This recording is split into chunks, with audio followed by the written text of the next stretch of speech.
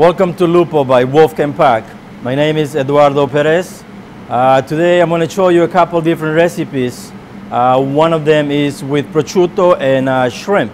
So over here we have uh, this uh, little shrimp that is going to be our main ingredient. But before we get to them, we're going to start by cooking some beans with a little bit of uh, onions, carrots, and celery that we need to cut up over here. Uh, if you're going to do this at home, you can do the chopping ahead of time so you can have a little more time to spend with your guest. So we're going to dice up the carrots, the onions, and the celery. This is enough for what we're doing today. Got the carrots, now we're going to do the onions.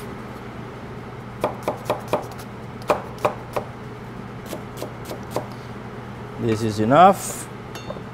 Now we do the same thing with this celery. Okay, perfect. So back here we have a saute pan that is getting hot. We're going to take a little garlic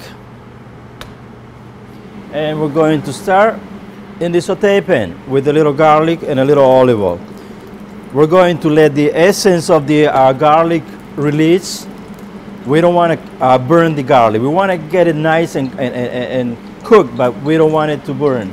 So we're going to uh, let it cook over here.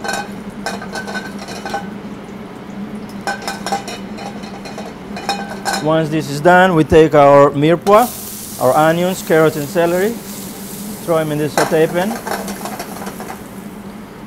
And for this recipe, we're going to be using a little rosemary. So we're just going to take the whole sprig of rosemary and we're going to throw it in this mixture.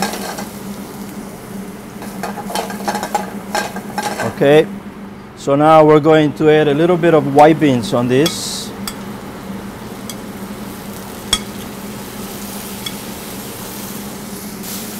Okay, and we're going to add a little bit of chicken stock.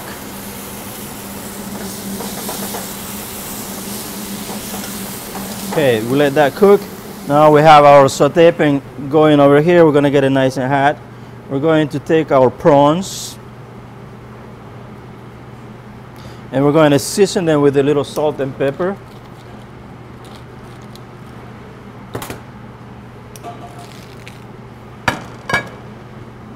Okay, we're going to coat them with the flour on both sides. And we're going to take our saute pan over here that is nice and hot. Again, we're going to start with the olive oil.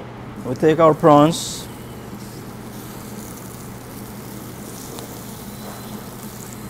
Going to add just a touch more olive oil. Okay, our beans are going over here. We're going to make sure we have them nice and seasoned also. A little black pepper. A little bit of salt. Your prawns, you want them cooked, but you don't want them too, to overcook them. So you want to have them nice and a fresh uh, flavor of your seafood. So one side is done, we take them on the other side. Okay. Now what we do is we take a little bit of butter. We add it to this. And we're going to combine both ingredients together. Okay?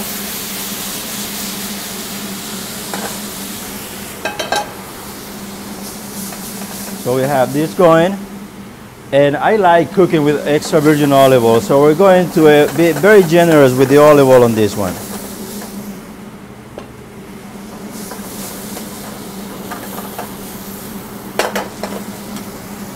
We're going to add just a touch more chicken stock. Okay.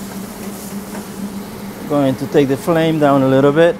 Now we come back over here where we're going to uh, do our plating. So we're going to take our prawns.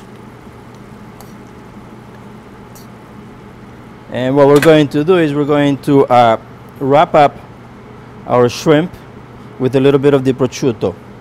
See, you notice I'm not cooking the prosciutto. I like the prosciutto to have this nice flavor without having to cook it. Because if you cook it, the flavor will change a little bit, and we don't want that. Okay, so now what we do is we're going to take our beans and we're going to put them on the plate.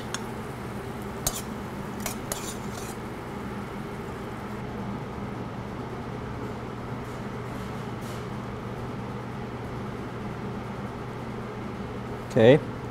Now we're going to garnish it with a little fresh thyme leaves. I love cooking with fresh herbs and thyme is one of my favorites.